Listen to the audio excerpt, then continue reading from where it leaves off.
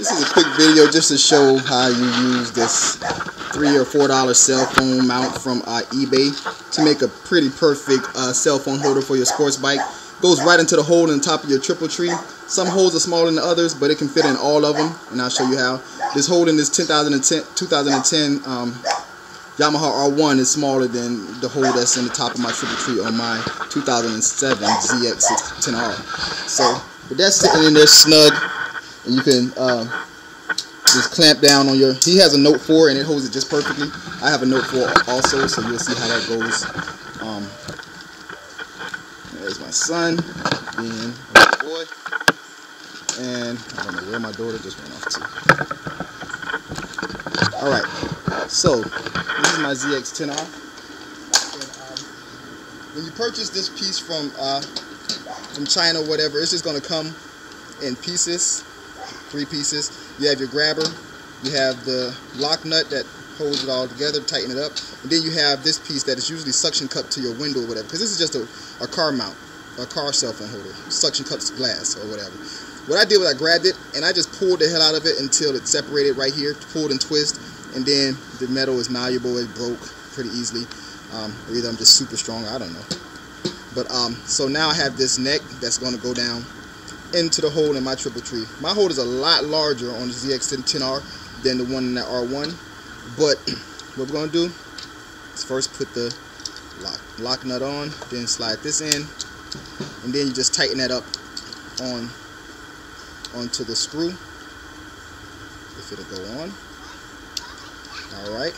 And now boom, you can tighten that up. You could actually even adhere. You can put super glue in there and whatever you want to once you get it to a point that you're satisfied with. So now you see this is going to extend down into the hole.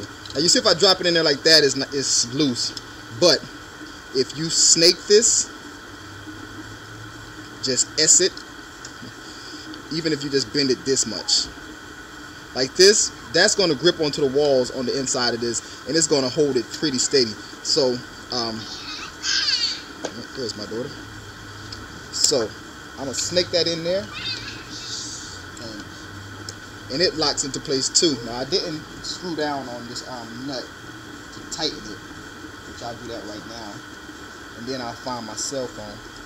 I probably should have screwed down this nut first. There we go, nice and tight. Then I take out my um my cell phone, my Note 4, and you see on the ZX10R you have the uh, the, the steering dampener right there, and also your key is right here. But this really doesn't um, this really doesn't get in the way. Once you have the bike on and stuff. Oh, okay. Once you have the bike on, it's no problem. It's not too much in the way. It clamps down on your phone and you're good to go. And you still have um, you still have room for your key and whatnot. So let me see. I have an app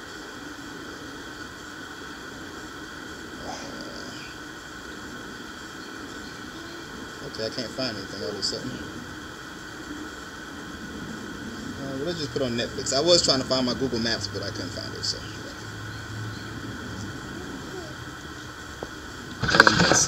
And of course, you can toss this. You no longer need this, so just throw it away. And you can do little tricks and stuff to actually make this so that it uh, it's, it holds even stronger. But and which is what I'm going to do. But I just wanted to show you a simple installation. And you can see from this view what you can still see the dash. You can still read everything. And the key sits right behind it. There's no problem with getting the phone off neither. So I'll go ahead and take it off. So you just reach behind it and boom, comes right off put it back on. Boom, it's back on. And it holds it pretty well. Very well, actually. This is a low wind area anyway, since it's right up under the shield. You're good to go.